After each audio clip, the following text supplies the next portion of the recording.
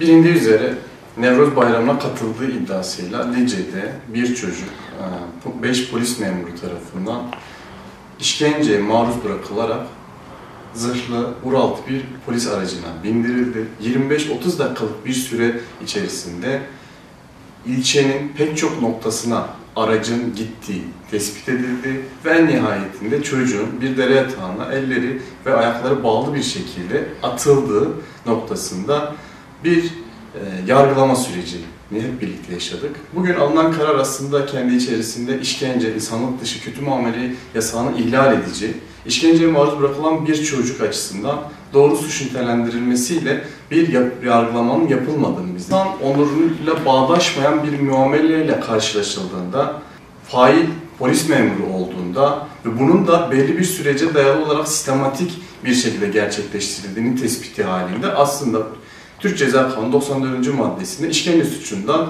fail polis memurlarının yargılanması. Biz Diyarbakır Barosu olarak, ailelerin avukatları olarak daha bu olay e, olayın yaşandığının ertesi günü e, Yusuf Dicle Üniversitesi Hastanesi'ndeyken alınan sağlık raporlarına dayanarak Dicle Cumhuriyet Başsavcılığına işkence suçundan yargılamanın yapılması gerektiğini belirterek suç duyurusunda bulundu. Savcılıca Cumhuriyet Başsavcılığı tarafından yürütülen soruşturma kapsamında aslında daha ilk günden kasten yaralama, kişi hürriyetinden yoksun bırakma gibi daha az cezayı gerektiren tipik bir cezasızlık politikasının örneği olarak yargı pratiğiyle karşı karşıya kaldık.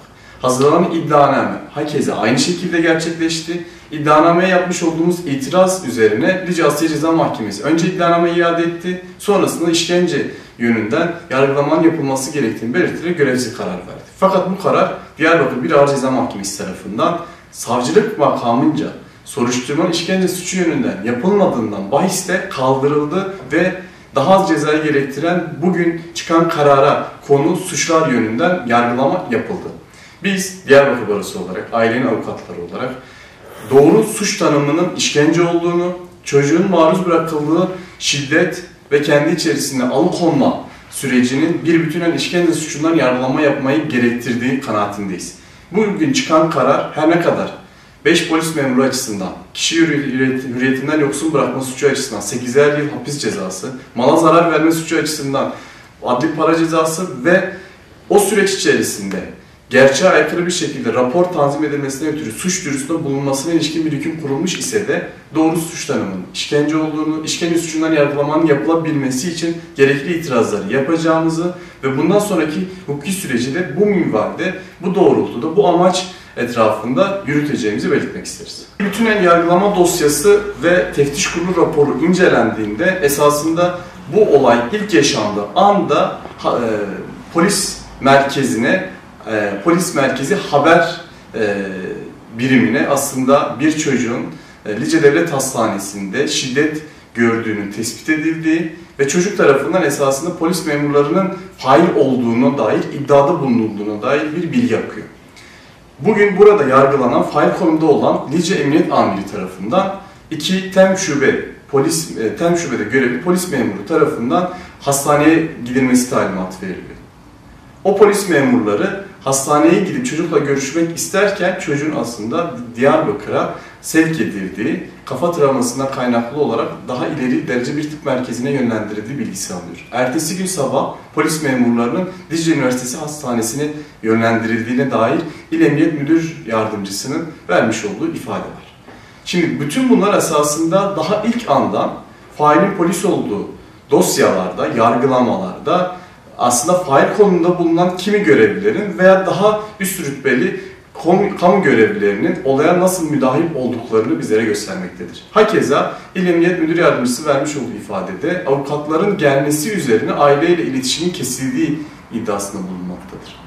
Şimdi bu durum esasında e, cezasızlık kültüründe yargı pratiği itibariyle de gözetildiğinde e, ailenin yani mağdur ve müşteki tarafın nasıl baskı altına alınmaya çalışıldığını, nasıl bu dosyalarda e, esasında dosyaların esasında failsiz bırakılmak istendiğini bize göstermektedir. Peki yargılama sürecinde sonrasında ne oldu?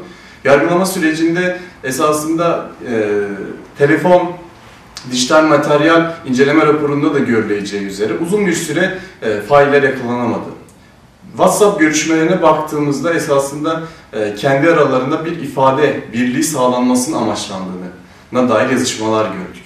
Sonrasında ne oldu? Esasında e, kamera görüntüleri tespit edilmek istendi ama Ural tipi zırhlı aracın araç içi kamera görüntülerinin olmadığı çünkü arızalı olduğuna dair e, bilgi ve belgeler dosyaya eklendi. Peki sonrasında ne oldu? Tanıklar dinlenmek istendi ve bu tanıkların dinlenmesi noktasında sorunlar yaşandı. Peki ne oldu? Esasında failin polis olduğu dosyalardaki tipik yaklaşım burada da karşımıza çıktı. Neydi o? Deliller karartıldı. Neydi o? Deliller gizlendi. Neydi o? Esasında deliller toplansaydı daha ağır cezai yaptırımlarla karşılaşabilecek olan fail polis memurları bu dosyada olduğu gibi geçmişteki yargı pratiğinin bir benzeri tezahür ederek esasında daha az cezayı gerektiren haller gibi bir yargılama neticesi ortaya çıktı. Pek tabii ki bugün çıkan karar hepimiz açısından emsal nitelikte bir karar olarak da değerlendirebiliriz. Netice itibariyle alıkonulan bir çocuk açısından bir yerel mahkeme kişi hürriyetinden yoksun bırakma suçu yönünden teşkilden yani alt sınırdan uzaklaşarak toplamda 8 yıl bir hapis cezasını hükmetti. İyi hal uygulamadı ve herhangi bir seçenek yaptırımının da uygulanmamasına karar verdi. Yani netice itibariyle yerel mahkemenin e, yargılama süreci içerisinde doğru suç yönünden yargılama yapamadığı kabulüyle birlikte aslında bugün bu suçlar yönünden verilebilecek en iyi kararlardan birisine tanıklık ettiğimizi Yerel mahkeme doğru suç tanımına göre yargılama yapamadı. Bu noktada işkence suçu yönünden yargılamanın yapılabilmesi için Kürdistan coğrafyasında benzer failin polis olduğu dosyalardaki daha az cezayı gerektiren veya failsiz bırakılan yargılama dosyalarının bir benzerine dönüşmemesi adına e, bu dosyada gerekli itirazlarımızı yapacağız. İşkence suçundan yargılamanın yapılabilmesine ne olanak sağlayacak hukuki mücadelemizi sürdürmeye devam edeceğiz.